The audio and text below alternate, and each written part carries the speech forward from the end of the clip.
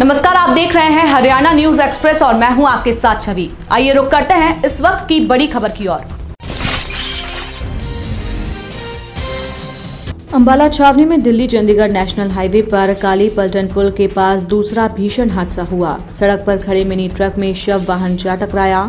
Accident में 10 से अधिक लोग जख्मी हुए हैं। सभी घायलों को एंबुलेंस की मदद से सिविल अस्पताल अम्बाला कैंट में भर्ती कराया गया है। सभी घायल देहा कॉलोनी के बताए जा रहे हैं। मिली जानकारी के मुताबिक अम्बाला शहर की तरफ़ से शव वाहन आ रहा था, जिसमें 10 से अधिक लोग सवार थे। जैसे ही जीटी रोड पर काली पलटन पुल के पास पहुँचे तो सड़क पर खड़ी मिनी ट्रक में शव वाहन जा टकराया। हादसे में कई लोगों को गंभीर चोटें लगी हैं, जिनका सिविल अस्पताल अम्बाला कैंट में इलाज किया जा रहा है। इससे पहले कल देर शाम को भी इसी जगह पर कार और ट्रक की टक्कर हुई थी, जिसमें कार सवार गंभीर रूप से घायल हो गए थे।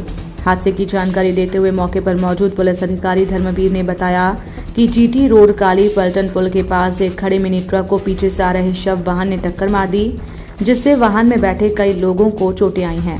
फ़िलहाल मामले की जाँच जारी है।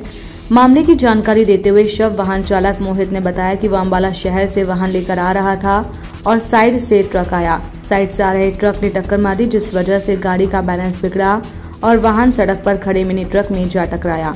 अम्बाला से हमारे editor in chief Rajendra Bhardwaj की रिपोर्ट। हाँ जी, मैं गीता गोपाल से राकेश चड्डा जी। हमारा शववान अम्बाला सिटी गया था, डेड बॉडी लेने, गीता गोपाल का। वो डेड बॉडी लेके जहाँ अम्बाला कैंटस ने आना था, आ रहा था तो काली पलटन पुल के पास।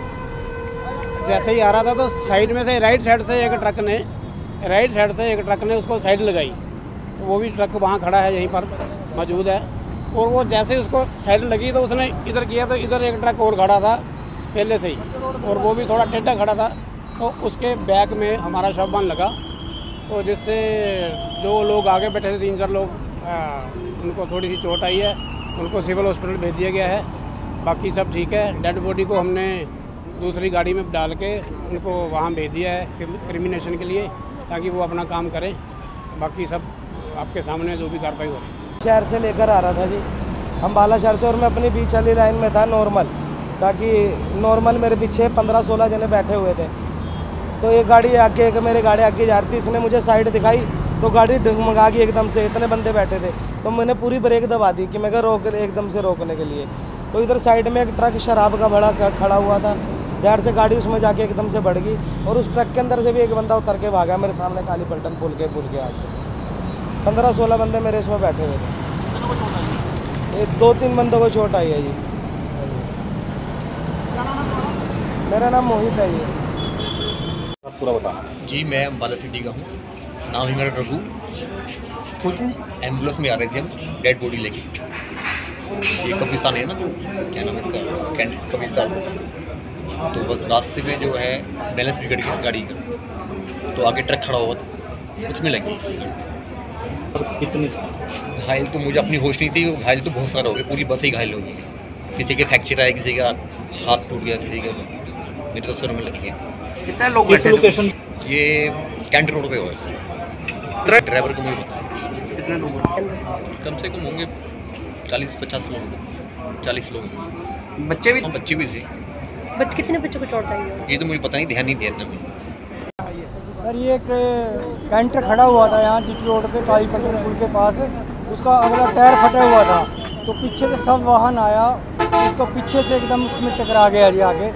तो जो आगे सवारियाँ बैठी हुई थी उनको थोड़ी चोट लगी है इंजर्डों को मौके से अस्पताल में भेज दिया है। चोट का थो, थोड़ी चोट है उनको जी बाकी ट्रैफ़िक खिलवा दिया है। जो ट्रक ने हिट किया था जिसमें हिट हुआ उसके खिलाफ मामला दर्ज किया जाएगा। हाँ जी इसके खिलाफ मामला दर्ज किया जाएगा जी। इसी स्थान पर लगा था तीन एक्सीडेंट रास्ते हाँ जी पहले भी एक एक्सीडेंट हुआ है जी। वो भी एफआईआर दर्ज कर दी है उसकी कार्रवाई कर रही है। कितने समय में कितने एक्सीडेंट एक तो रात सुबह हुआ था एक अब हुआ है। रात को भी हुआ था? हाँ नहीं रात को जो है। हमारे फेसबुक पेज को लाइक फॉलो और शेयर करें। साथ ही यूट्यूब चैनल को लाइक करें सब्सक्राइब करें और ताज़ा खबरों के लिए बेल आइकॉन को दबाना न भूलें।